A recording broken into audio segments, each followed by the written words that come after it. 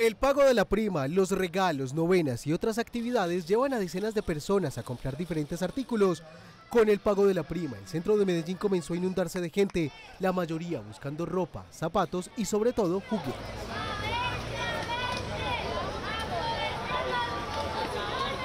Estos momentos no se ha visto mucha gente, pero por acá los estaremos esperando para que se gasten toda la liquidación, la prima, el aguinaldo, para que traigan a toda la familia, que acá les damos muy buen precio. Aunque algunos comerciantes señalan que la semana fuerte apenas comienza, esperan que con el paso de los días y acercándose el 24 de diciembre se puedan incrementar las ventas. Todos los diciembre siempre se mueve y todo, pero hay que darle gracias a Dios que al menos se está vendiendo. En comparación con otros años, este ha estado un poco más, más duro. La economía se nota y pues eh, no, no, no son las ventas de otros años. Entre las compras más solicitadas por estos días están los juguetes, carros electrónicos, muñecas, cocinas e instrumentos musicales son algunos de los más buscados.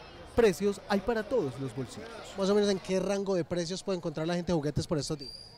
Pues hay ranguitos de unos precios, digamos, de 50 mil, 80 mil, 100 mil, como hay artículos de 400, 600, 800 mil pesos. Pero sin duda, este 2023 las cartas al Niño Dios siguen llenas de una solicitud en común, la patineta de humo, que se puede encontrar entre 200 y 250 mil pesos. Pues yo he estado vendiendo mucho la patineta de humo, esa es la que más busca la gente, porque eso trae Bluetooth, alumbra las luces, se puede conectar al celular, recargables a la energía. Entonces una patineta que es muy económica, me parece a mí, por lo que no están, digamos, gastando baterías a todo momento.